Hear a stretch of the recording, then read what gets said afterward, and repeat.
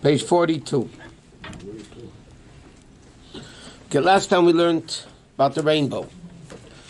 Now we're learning other. Next, moving on. Okay, uh, page 42 in the uh, Stone Chumashim, uh, four lines in the end of the page. Shishi. Okay, bottom line is the flood's over. Noach left the Teva. He was told by Hashem, populate the world.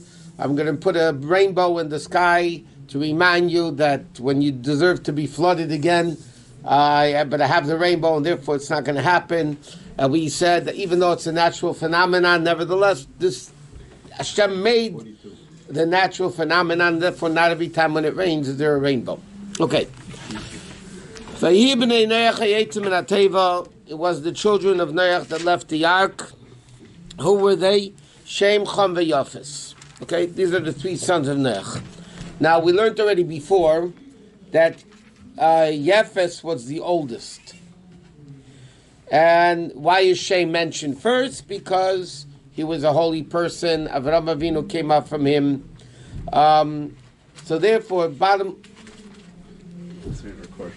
Okay. So bottom line of it is that Yafis was the oldest, and then Chum, and then Shem, according to many opinions. The whole question what it is. Okay, for Chum Uavi Canaan, and Chum is the father of Canaan. Why is the pasuk mentioning this? Because as we'll soon learn the story, with Noach getting drunk, Chum, not only that, from all the people in the ark, he had relations, he had intimacy during the time of the flood, which was forbidden. So Chum was uh, the source of all evil was Chum, basically. He didn't behave in the ark. Afterwards, what we're soon going to learn with the Noach story, what he did. So it says, Chum is Avi Canaan. He's the father of Canaan, meaning, as the expression goes, Ibn Ezra writes, like father, like son. Chum was evil, Canaan, his son, was evil. They're all evil. Okay? Now, it says, the Shleisha Ela b'nei Neach. These are the three sons of Neach, meaning um, even though one of them was bad, nevertheless they were still blessed by God. When Hashem blessed Noach when he came out of the ark, he blessed him and his children, be fruitful, multiply, conquer the world. So even though one of the sons was Chum, who was evil, he was still blessed from uh, from Hashem himself. Okay right now in our life. Correct. What's another interesting thing? What does the Torah emphasize? You can have a very holy father and a very corrupt son. Noach was a tzaddik. You know, he was a righteous man, yet he had a son, Chum. Just like Avram had a Yishmael and uh, had an Esav.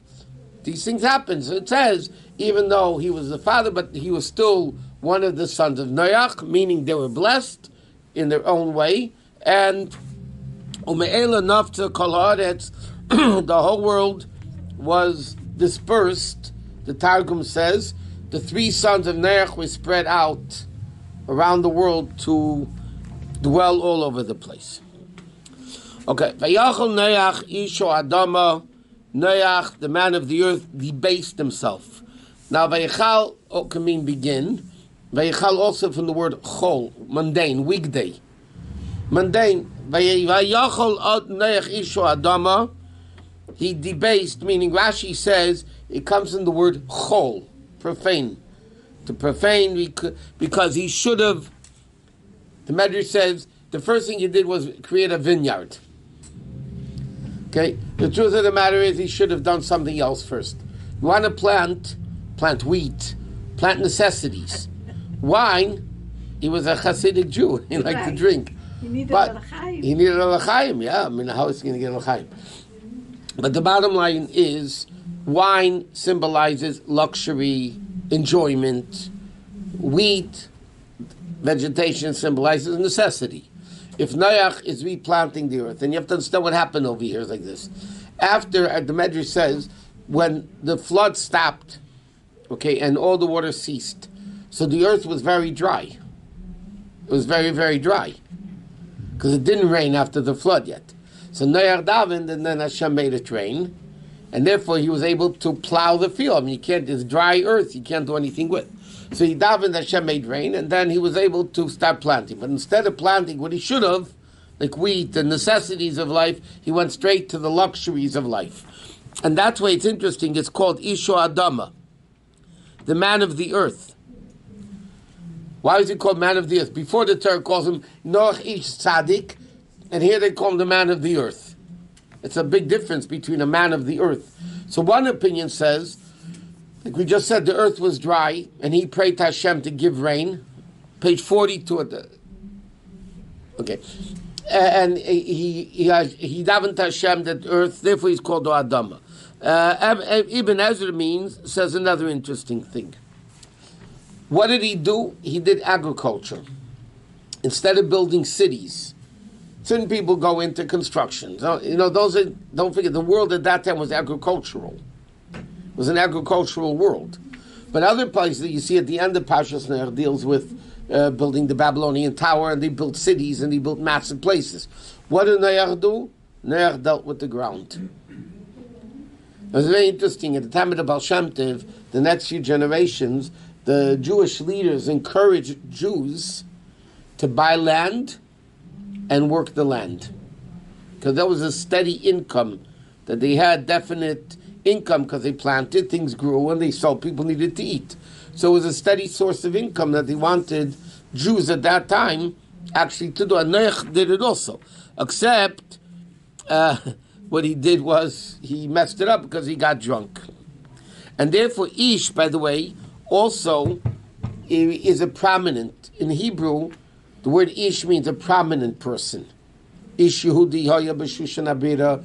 Ish, uh, there was a Bayaz was called. There's a lot of people are called Ish. Ish is a sign of respect and dignity. Like Lord. Huh? Like Lord. Like Lord, to a certain extent.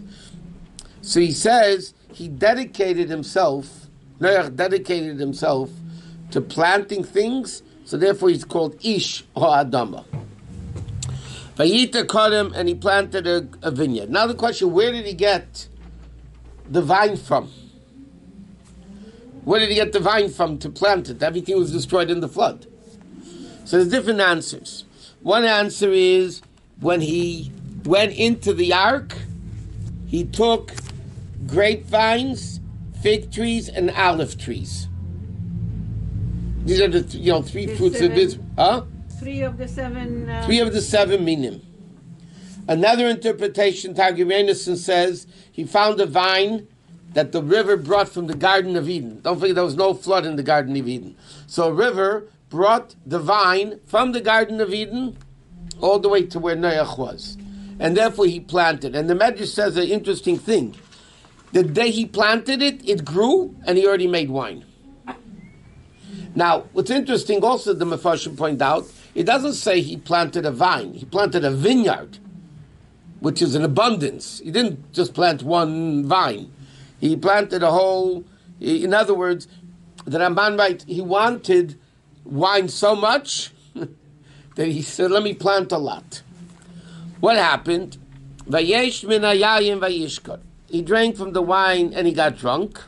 Okay? And this all happened, the Medrash says, in one day. He planted it, it grew, and he drank it all in one day. Things were quick in those days. Huh? But again, he had a finished product already, a finished vine that he was already just able to grow already. Um, according to the Zohar, the vine that he got from Gan Eden, the vine was already full of grapes. So he didn't have to wait until they grew. It just they were full of grapes, and he took them. And what did he do? He revealed himself in the tent.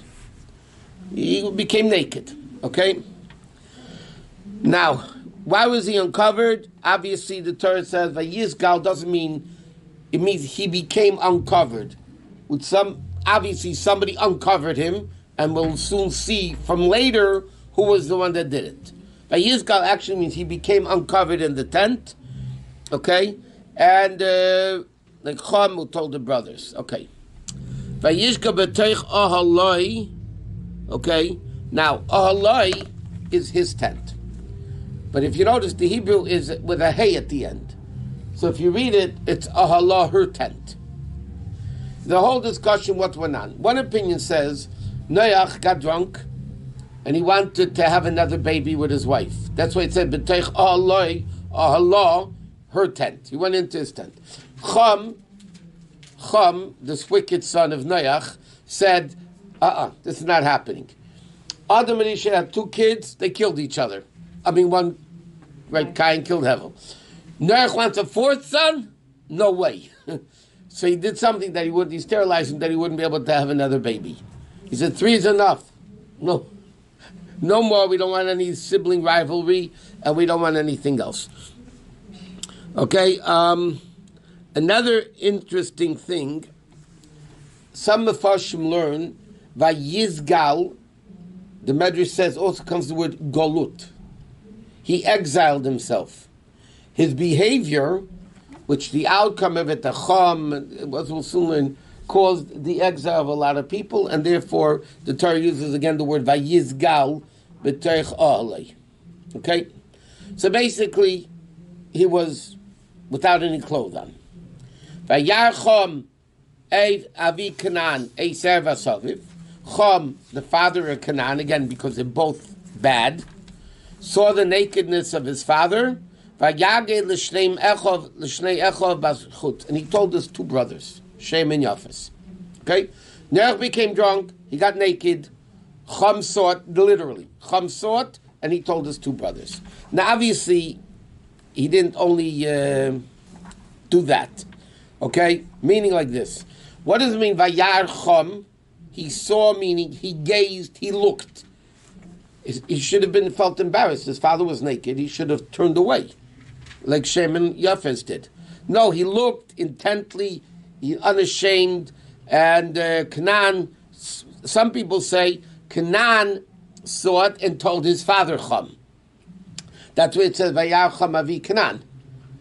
Why is Avi Canaan relevant here that he was the father of Canaan? So some people say Canaan saw it and he told Chum. Okay, uh, Chum Canaan. I mean Chum saw. It was good or bad? It's bad. They waited outside. They had dignity. They didn't want to see their father naked. Okay? So now what did he do? So Rashi quotes in the Gemara, some people say he actually castrated him. He sterilized Noach, Chum, that he shouldn't be able to have any more kids.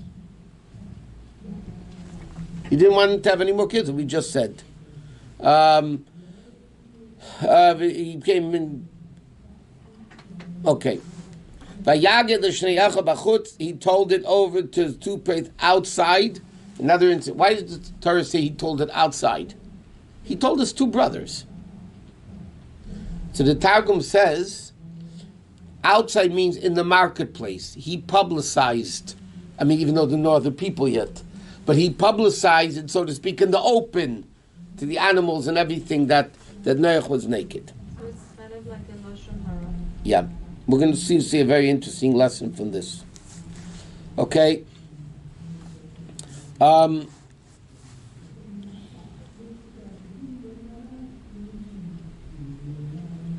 okay, so now it says like this. He mocked his father. He didn't. Now, why did he tell the brothers?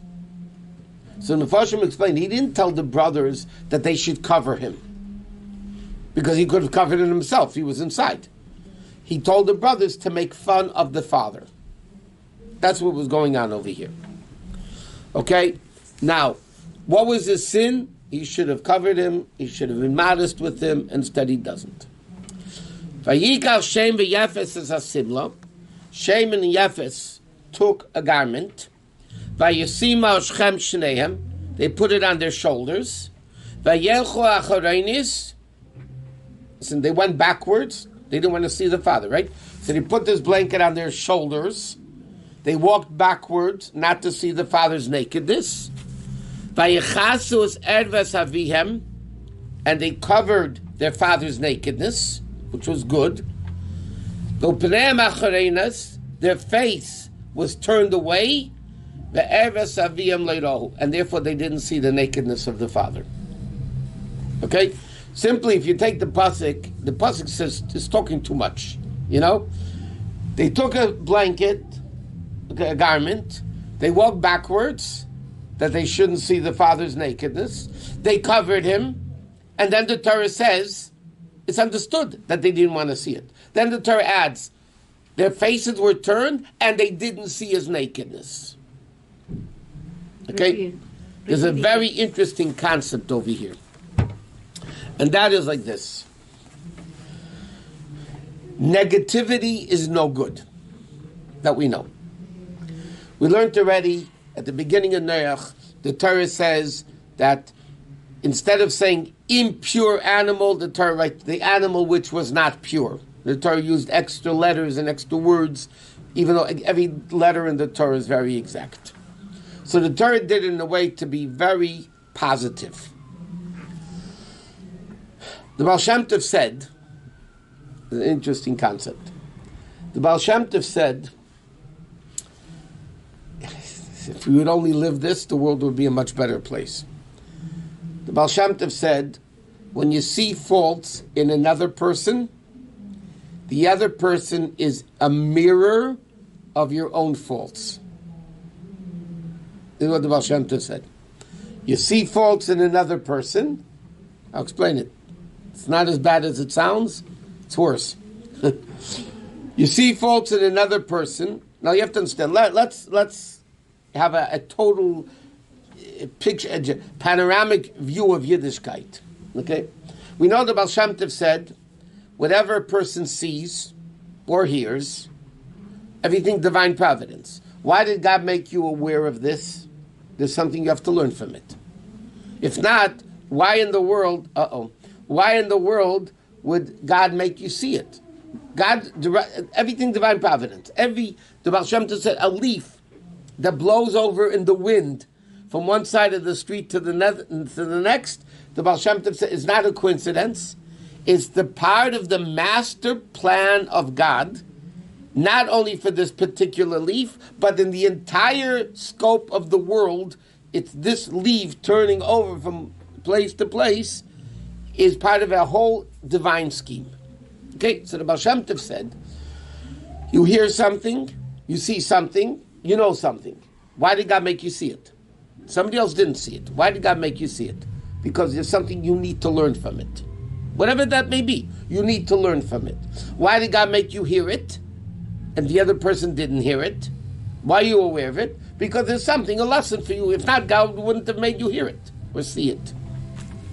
Therefore, the Baal said, when you see a fault in somebody else, God is showing us our own faults.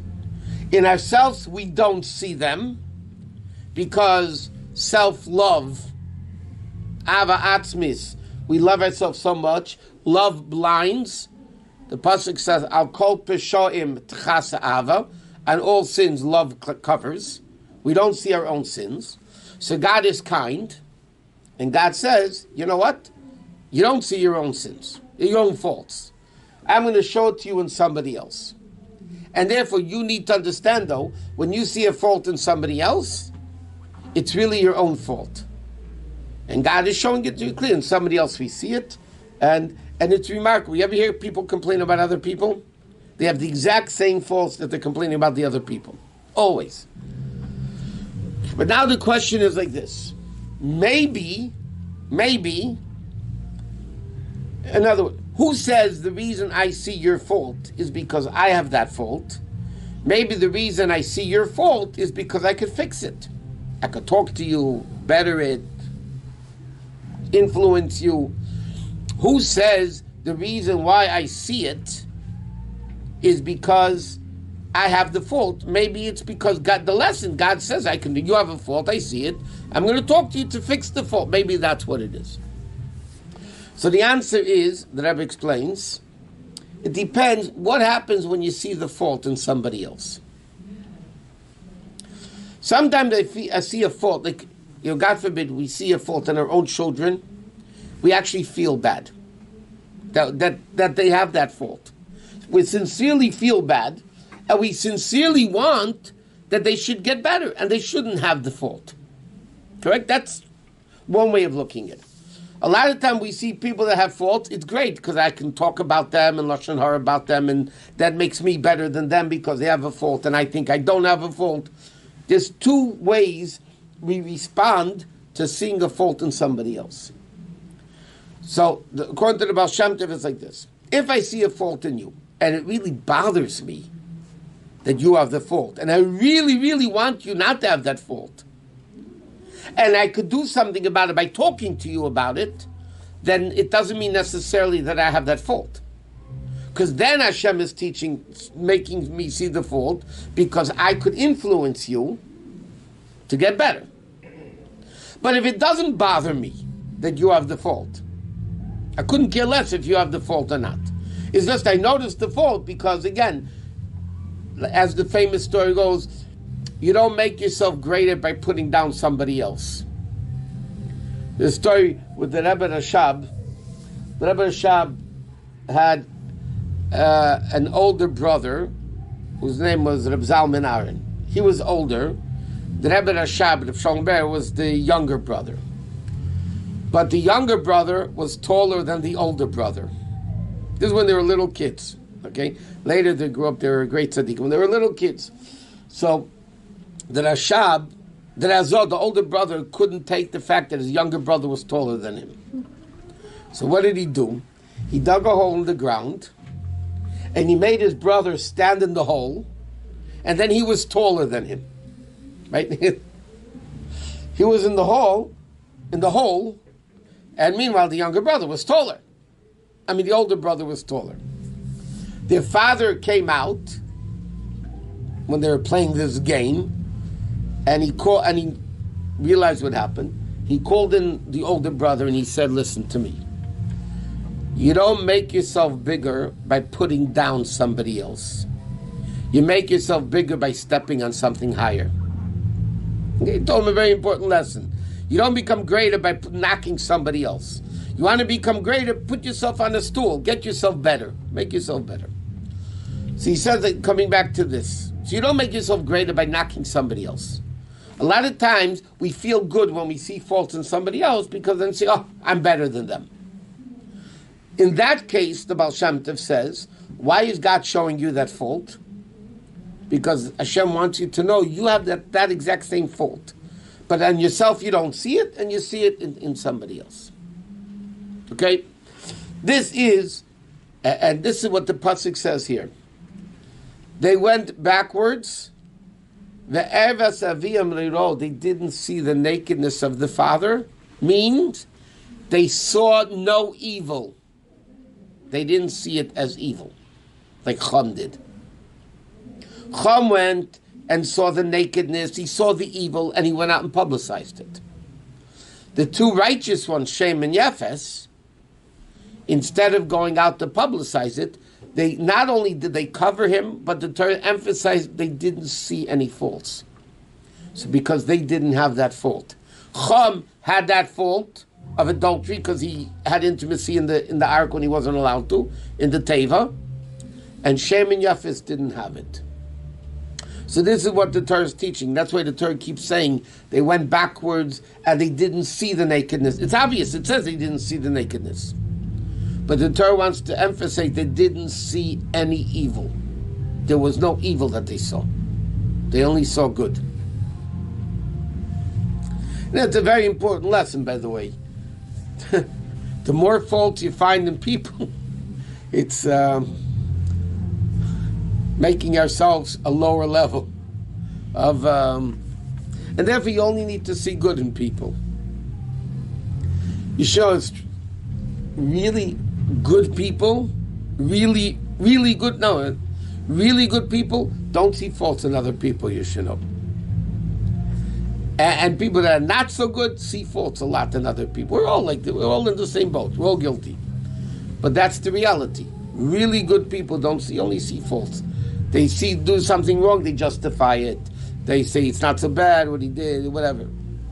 That's the outlook somebody has to have in life. And that's what this pasuk is teaching us by saying they didn't see the nakedness of the father. They saw no evil. They only saw good. Okay. So this is what they did. Okay, we're on 44 already. So Noach, I mean, um, yeah. Noach woke up from his, uh, from his, not from his sleep, Stupor. From his, from his drunkenness. When did he wake up? Huh? When did he wake up? When the effects of the wine wore, wine wore off. Yeah, mean, how long? What's interesting about, just think of this before, basically what he made was grape juice. If you think about it, he squeezed the grapes. I mean, wine needs to age. But we don't know how long he aged it. It doesn't say he said he squeezed it and he drank it all in one day. He planted it and it grew and made it on one He day. doesn't say how long it took though. No, before you came, it says it was one day. So the question is only like grape. You don't get drunk on grape juice. But it But- could be fermented the same day. But It grew in obviously, day. obviously, we must say that the wine fermented. Otherwise, it wouldn't be alcoholic. Right. So it had to be alcoholic beverage. What happened when we when he woke up? Okay, so the Mepharshim say like this: Why does why does it say Vayikatz Noach miyenei? He woke up. Vayikatz Noach. He woke up. Why does it say he woke up from his wine? What's the Torah teaching us? So the commentaries say two things happen over here. He woke up from his sleep, and he had no hangover, meaning his mind was clear. That's why he knew exactly what happened. So the Torah says not only did he wake up from his sleep, he actually woke up from the wine, meaning he was completely lucid and he knew exactly what happened. He knew. He knew. Was a smart man, by the way. Vayedei sha'asalei b'nei hakotan. And he knew exactly what his small son did. And the problem over here, he wasn't the youngest, like we said. Shem was the youngest. So it says, Rashi says that Yafis was the oldest, or different opinions. Some people say Yafis was the oldest, then Shem, and then no Chum, and then Yaf. It's Shem.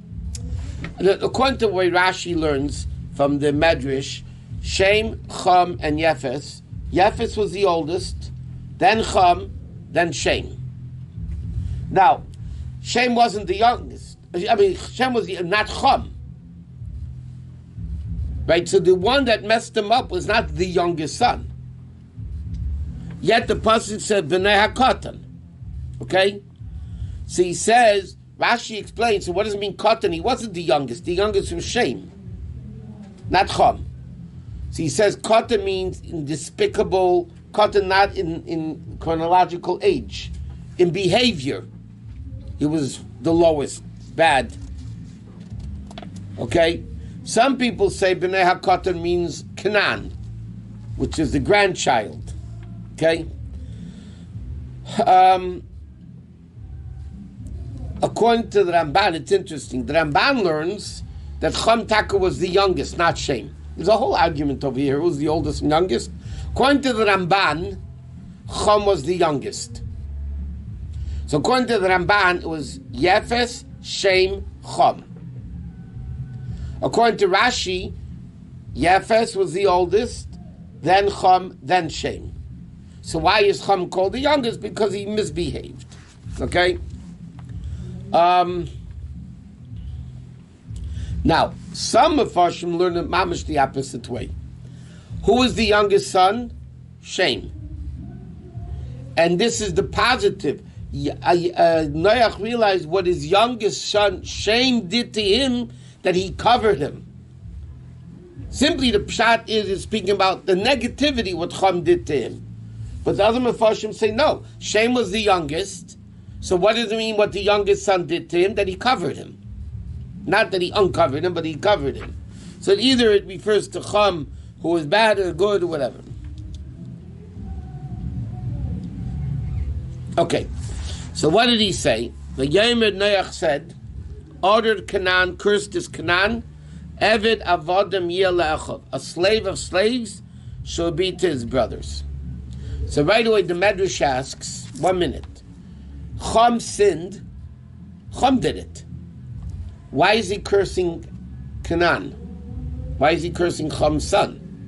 If Chum was the one that uncovered his nakedness or sterilized him, whatever, castrated him, why is he cursing Canaan? So the Mepharshim say like this. The Medrash says, Noach's three children were already blessed by God. God blessed them, it says. So if God blessed them, he can't curse the ones he blessed. Therefore, who is he cursing? The child of Chum, next best, so to speak. According to other Mepharshim, that that Noach saw, the Radak says that Noach saw in prophecy that Canaan's children, nations, seven nations of Canaan, right? They were going to be wicked, and therefore he cursed them.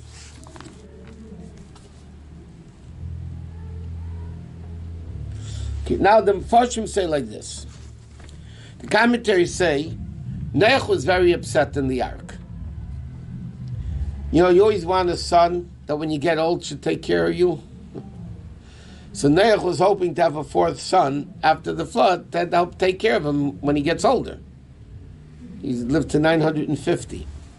So he explained, oh, you cursed me, and you, he tells his son, you, because of you, I'm not able to have a son, and therefore I'm cursing your Chum four kids. By the way, the Medrash says Canaan was the youngest of, of four. So he said, "You didn't let me have a fourth son. I'm going to curse your fourth son." The father? Huh? The father? The grandfather. Yeah. The grandfather? They were bad, Curse- huh? Who could curse their own grandchild? Well, if the grandchild could do what to the grandfather what the grandchild did, why can't the grandfather curse the grandchild? I know. He was stupid. Somebody once said, somebody once called somebody a bad name. So he says to somebody, "No, no, look what he called me. He says, if you could be it, why can't he call you it? if you could be an idiot, why can't he call you idiot? I mean, what's wrong with that? If So but this is what we are talking about in Judaism. You, uh, somebody, a grandfather does something, and then their, you know, children have to pay for it. That's The also- grandson did it. Canaan, according to what we said before, told his father that Noach was naked. So Canaan really initiated the whole story. But they're all not good. So Canaan here is one or two years old. Who? Canaan. No, Canaan. Oh, he had to. He couldn't be too old. it doesn't say how old he was. was old enough to castrate him. No, Chum castrated him. But there was a different. No, castrated was Chum. Vayar Chum. Canaan told, now how, how old was Canaan? Obviously, he wasn't born before the flood. If you want to say they wa- the grapes were young, then they, Eh, Everything, you know, it's all. You know, at the beginning of the world, things worked much differently. The timing and the years and the days. Okay, we learned this in, remember, Sunday morning Gemara shiur. In the earlier generations, in biblical times, boys gave birth under 13, they were giving birth to children. boys. Boys under 13 were able to create. Se- first. Sure. okay, the Gemara says that. Remember, we learned that in the Gemara. And the Gemara is just discussing at what age they did before. Look, Rivka. Not now. No, Rivka was a, a, a three-year-old shepherd. Okay, can you imagine a three-year-old kid being a shepherd today? Ain't happening. Okay, so obviously there was a certain level of maturity that existed in those days that didn't exist nowadays. I thought it was In this week's not- parsha, not in this week's parsha, we read about the building of the Mishkan. Okay, so the Torah says, Ru Karasi B'Shem B'Tzalel Ben Uri Ben Chur L'Mata Yehuda. B'Tzalel, when he built the Mishkan, he was the main contractor and engineer of the Mishkan, was under Bar Mitzvah. Or Bar Mitzvah, or certain opinions say he was even younger. Okay? A 13 year old kid to figure out how to do things? Come on. The Mishkan was Complicated, very intricate. not only, not only it was intricate. Rashi says in this week's parsha, Tavu mino izim. They the women wove the wool while it was still on the goat. Yeah. They wove it mino izim alo izim. Rashi says from the Gemara in the Medrash. They wove the thread while it was still on the animal. There were different patterns on both sides. Yeah, but I mean, it was remarkable. what they- The menorah take a. be- I mean, there was unbelievable things. And this kid, Bezalel, thirteen years old or younger, ran the whole place. And these And not only that, Moshe told him to do one thing. Moshe told him to do one thing, and he came to Moshe and said, Moshe, it was his great great uncle, by the way. He said to him, "It doesn't make sense to do it this way." And he said, "You're right. That's what God told me, like you said, not like I told you to do." He told Moshe Rabbeinu, "It can't be that this is the way to do it." And he said, "You're right." Moshe said to him, "You're right," and that's what Hashem. You're right. The way you're suggesting is the real way Hashem told me to tell you to do it. So the kid, so Canaan may have been maybe uh, whatever. I don't know. did the children of Noah also live like him, like 800, 900 years? Well, the the pasuk says later about um, Shem did not live that long. Here, um, Shem lived six hundred years. Shem was alive when Yaakov was there. Well, Noach died when Avram Avinu was 58 years old. That's what it says. Avram ben Noach, Noach Nun Ches, when Noach died. So Avram Avinu, they, did they see each other? Probably saw each other, I mean, but Avram was 58 years old already. I mean, he wasn't a baby. He was three years old, he recognized God and all that. And when Noach died, Avram was 58. So there's so things going on there. Okay, so now it's something like this. Eved Avodim, what does it mean?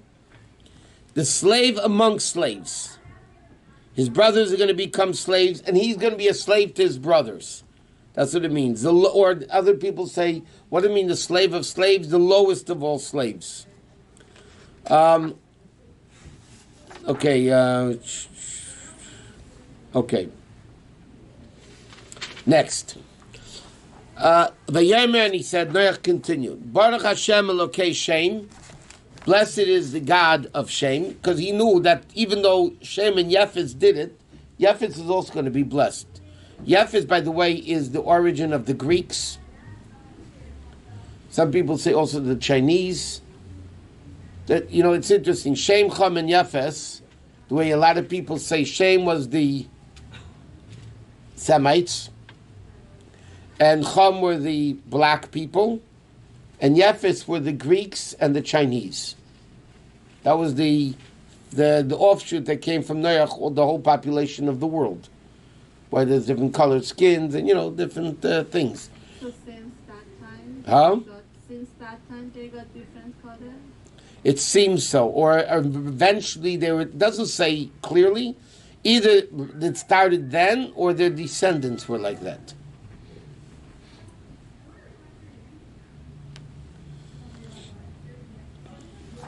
Okay, so Baruch Hashem Elokei Shem, What, what, what pasuk we are? um, Pasik Chavav,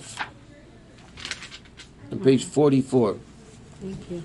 Okay, that why is uh, Hashem's name? Okay, it's interesting. When when Noach cursed Chum or Canaan, it doesn't say Hashem's name. He just says Ar Canaan cursed his Canaan. When he blessed Shem, he uses the name of Hashem, God's name, and even to Yefes, he says Yaft Elokim liyefes. He also uses God's name. So it says when God curses, he doesn't want to use his name. God's name is only used in conjunction with good things that happen, not bad things that happen. Okay? Now, he saw that Shem's children are going to be the Jews, accept the Torah and great. So therefore, he blessed them with the name of Hashem. Um, he had no master over him except God. Um, and even though he says, Farshim say, even though God is not exclusively Shem's, God is God of everybody, but nevertheless, God reveals himself more to Shem, to the Jews, than a you know, chosen nation that he redeemed himself. And Canaan, Cham's children, Canaan will be a slave to the descendants of Shem. Okay? Now, um, okay, that's it with this. Yaft Elokim liyefes. Yaft, we'll soon see different interpretation of what it means. But Yaft Elokim liyefes means, may God extend Yefes's boundaries and may they inherit many lands. V'yishkin ba'oli Shem, and he should dwell in the tents of Shem. Meaning like this, the Mepharshim say, it doesn't mean, Rashi says, that Yefes will live in the tents of Shem. Yafta lekim Yefes. Okay? Meaning, he will extend the borders of Yefes. V'yishkin means God will rest in the tents of Shem, not Yefes. God will rest in the in the Shechina of that. Now, but even though what the pasuk is teaching us, even though God extended the boundaries of Yefes, which are the Greeks and the Chinese, we said, nevertheless, where will he dwell? Only in the descendants of Shem of Shlomo HaMelech. Okay, Cyrus, by the way, who's a descendant of Yefes, who helped build the second Beis Hamikdash, it's still not the same as the Beis Hamikdash Shlomo HaMelech built. Another interpretation of Yafta Lakim Yefes means Yefes means beauty, right? Yafa is beauty. Yafta Lakim Yefes meaning like this: the chief beauty of Yefes. The Gemara says, believe it or not, Greek is the most beautiful of all languages, with the exception of Hebrew. And therefore, the Gemara says a Sefer Torah could be written, besides in Hebrew, it can be written in Greek. Because Greek is also considered a beautiful language. This came from the blessing of Noach to Yefes, that Yafta Lakim Yefes, will have this beauty and glory, in addition to the fact that he will extend his boundaries. And that's why, by the way, there's a tremendous amount of. Um, it says, where did this happen historically? when King Ptolemy, Talmai HaMelech, called in 72 elders, told them to translate the Torah into Greek, and the 10 miracles that happened, each one changed it in 10 places, and they were exactly the same changes, but he did it all into Greek. Excuse me, so Torah written in Greek is kosher? Huh? If a Torah is Not nowadays. Because the, the Mepharshim, I can say this. Um, the Rambam writes, in those days, Greek language was a pure language of Greek, and it was a beautiful language. It became corrupted, and it's not the original language. So today, you're not allowed to do it.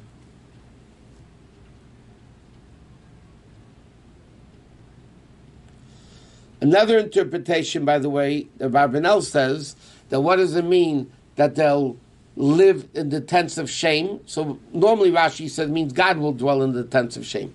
The Barbanel says no. Shem, I mean Yefes at one time will control Israel. The Greeks controlled Israel, so they were living in Israel, controlling the land of Israel. That also came from Noach's blessing to them, which was, um, you know, um, And it still could happen. huh? And it still could happen. still happen. But it says again, he finishes Yichnan Eved Canaan is still going to be their slaves to Shem and to Yefes.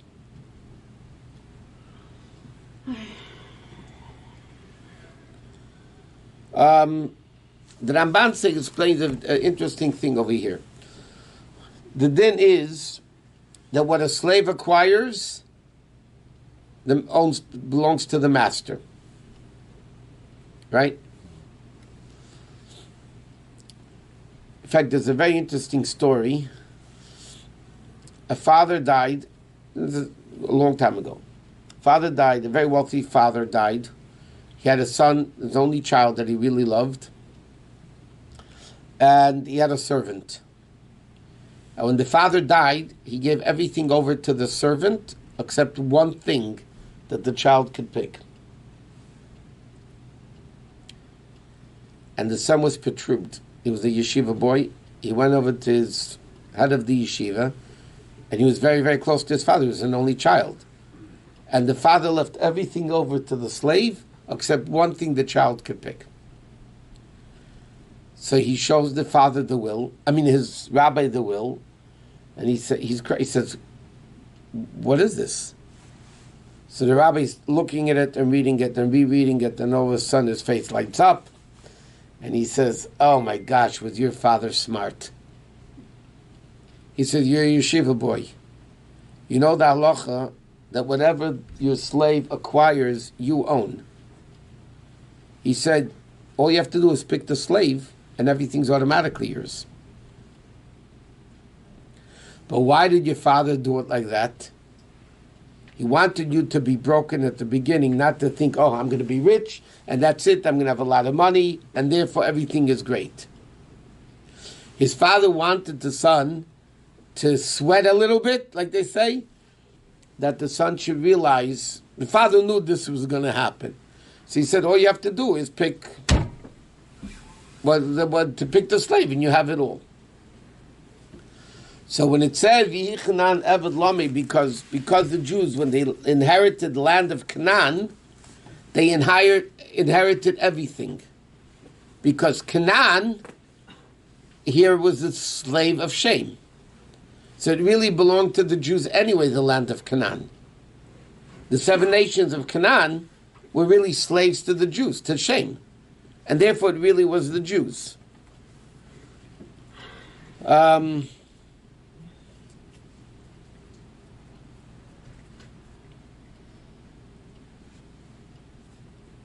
Okay, so the Ramban says two things over here, which are very important.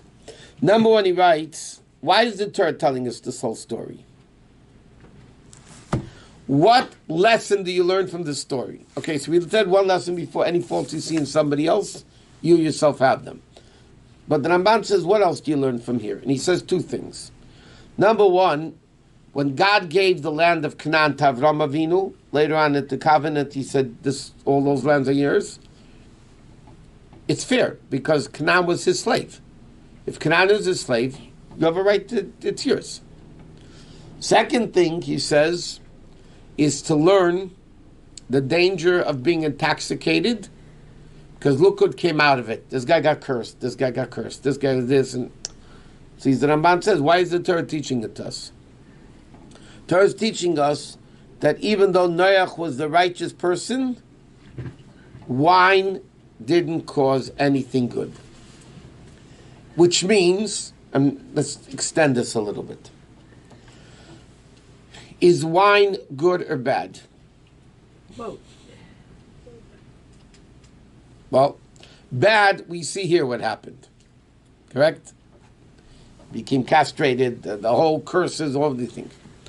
From the other side, Kiddush is on wine, marriage is on wine, all holy things are over a cup of wine. Which means everything has to be in proportion. That's what this story is teaching us. Wine is holy if it's taken the right way. If it's taken the wrong way, it could be very dangerous.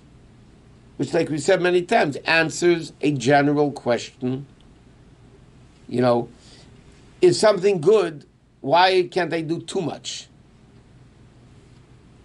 If if four tzitzis on a garment are good, why can't he have five? Why can't he have six? Why can't he have ten? If four is good, for sure ten is good. But we know that if you put five tzitzis on your garment, not only you're not doing a mitzvah, you're transgressing a negative commandment of the Torah. You're adding on to mitzvahs. What's wrong with adding on to mitzvahs? So you see what happens when you add on to mitzvahs. Wine is very good, but it has to be in the right proportion, in moderation. If it's too much, it's no good. The same thing we found with medicine.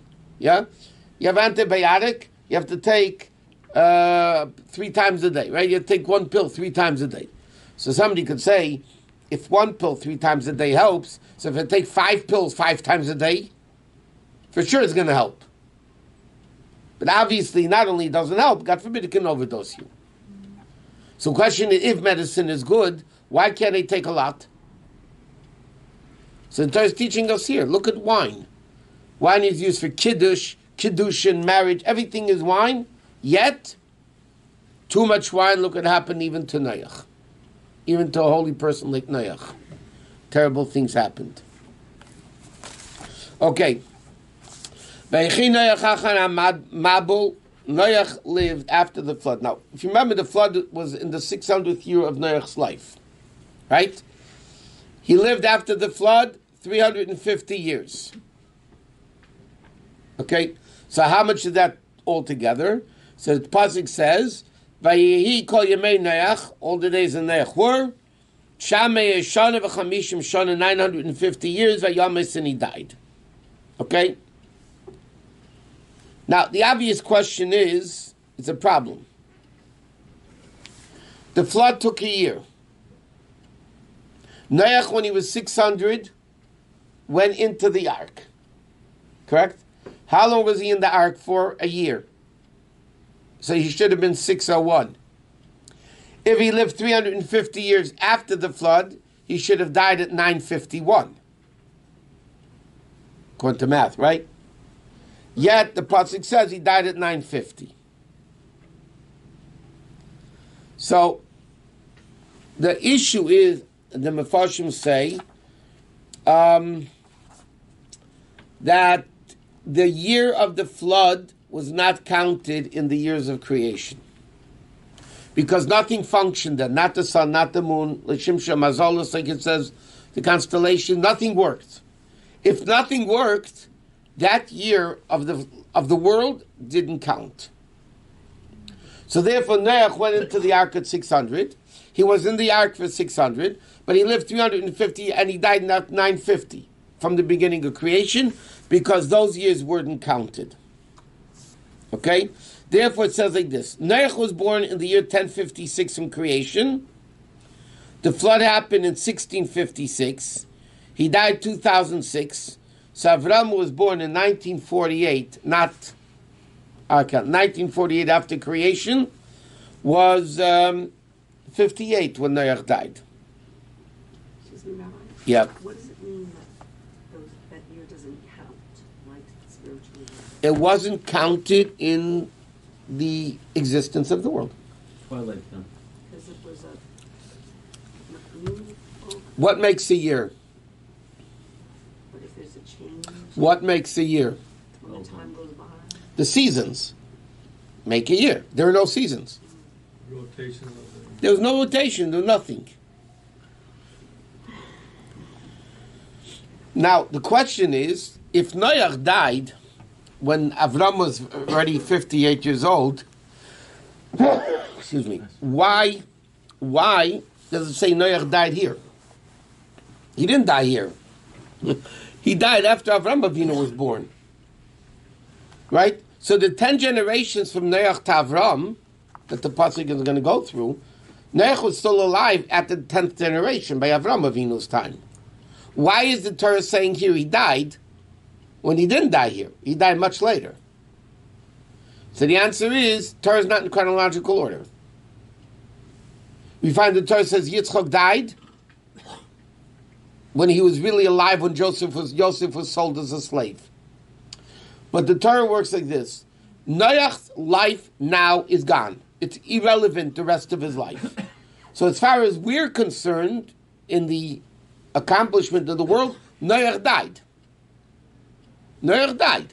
Ah, he was still alive. It's not relevant because in the chronological order, it doesn't make sense. It does. It's not important anymore. Okay.